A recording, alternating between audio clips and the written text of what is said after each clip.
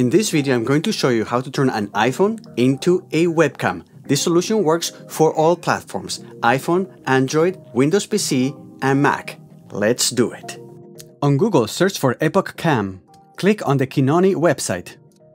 Next, download the drivers for the computer that you're using, Windows or Mac. Now, install the drivers in your computer.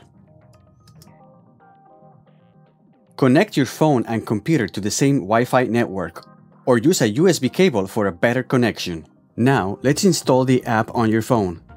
Search for EpocCam on the App Store. You'll find free and paid versions of the app. Before upgrading, test the free app to make sure it works with your phone.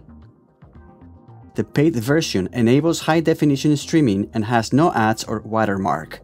In this video, I'll use the paid app so you can see all the features. For the app to work, you'll have to allow the app to access your camera and your microphone. If everything works, you should see a notification on your desktop confirming your phone is now connected to your computer. Let's test a video connection using Zoom. Click on the gear icon. Click on Video.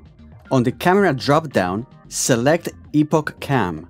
You should see the video coming from your phone. Switch to the front camera to make sure it works too.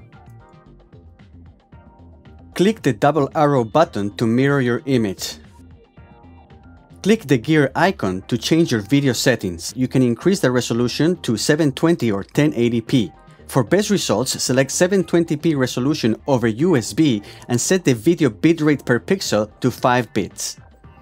If you have any connection issues, check Kinoni's troubleshooting guide at this link. Sometimes restarting your computer is all you need. So that's how you turn your phone into a webcam. But now, how do you place your phone so it's not looking up your nose hairs? You could use either a tripod or this solution. Get some Velcro or picture hanging strips like these ones. Cut a 2 inch piece and stick it to the back of your phone. Stick another piece to the back of your computer screen. Attach the phone to the back of your screen and check the video looks good.